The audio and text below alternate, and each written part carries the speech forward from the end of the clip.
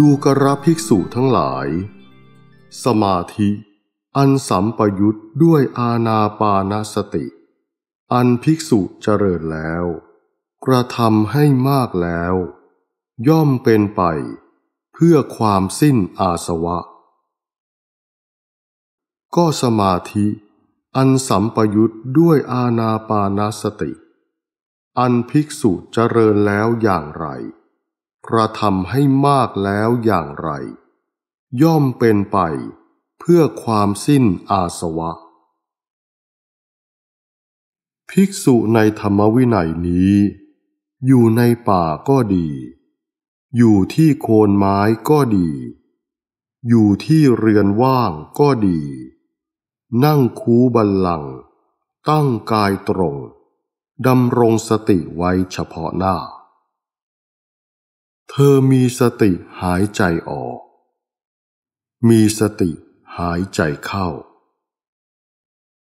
เมื่อหายใจออกยาว ก็รู้ชัดว่า หายใจออกยาว หรือเมื่อหายใจเข้ายาว ก็รู้ชัดว่า หายใจเข้ายาว เมื่อหายใจออกสั้น ก็รู้ชัดว่า หายใจออกสั้น หรือเมื่อหายใจเข้าสั้น ก็รู้ชัดว่า หายใจเข้าสั้น ย่อมสำเนียกว่า เราจักเป็นผู้รู้แจ้งกายทั้งปวง หายใจออก ย่อมสำเนียกว่าเราจักเป็นผู้รู้แจ้งกายทั้งปวง หายใจเข้า ย่อมสำเนียกว่า เราจักเป็นผู้ระงับกายสังขาร หายใจออก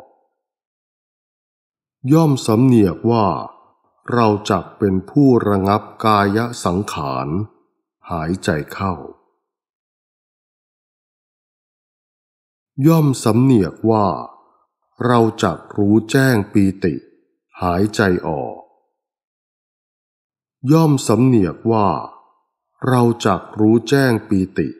หายใจเข้า ย่อมสำเนียกว่า เราจักรู้แจ้งสุข หายใจออก ย่อมสำเนียกว่า เราจักรู้แจ้งสุข หายใจเข้า ย่อมสำเนียกว่า เราจักรู้แจ้งจิตตสังขาร หายใจออก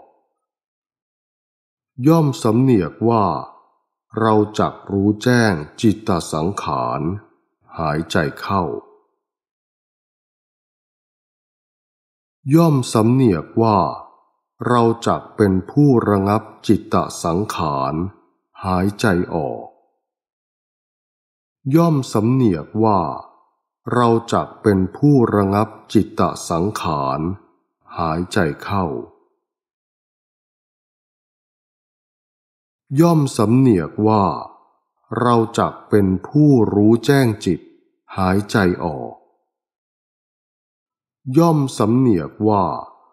เราจักเป็นผู้รู้แจ้งจิต หายใจเข้า ย่อมสำเนียกว่า เราจักทำจิตให้บันเทิง หายใจออก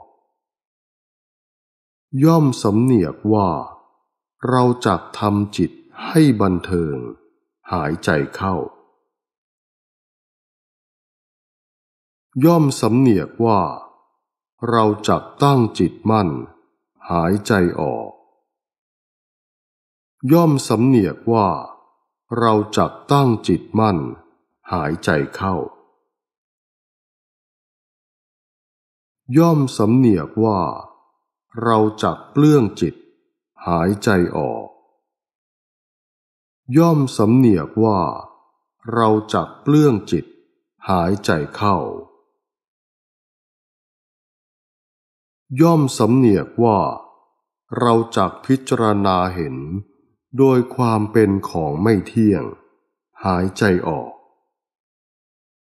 ย่อมสำเนียกว่า เราจักพิจารณาเห็น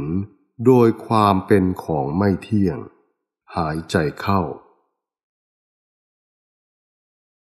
ย่อมสำเนียกว่า เราจักพิจารณาเห็น โดยความคลายกำหนัด หายใจออก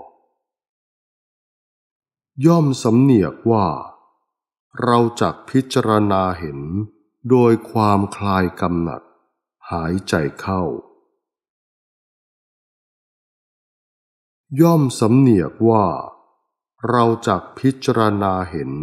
โดยความดับ หายใจออก ย่อมสำเนียกว่า เราจักพิจารณาเห็นโดยความดับ หายใจเข้า ย่อมสำเนียกว่า เราจักพิจารณาเห็นโดยความสละคืน หายใจออก ย่อมสำเนียกว่า เราจักพิจารณาเห็นโดยความสละคืน หายใจเข้า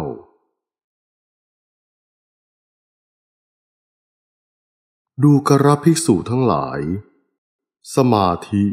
อันสัมปยุต ด้วยอาณาปานสติ อันภิกษุเจริญแล้วอย่างนี้ กระทำให้มากแล้วอย่างนี้ ย่อมเป็นไปเพื่อความสิ้นอาสวะ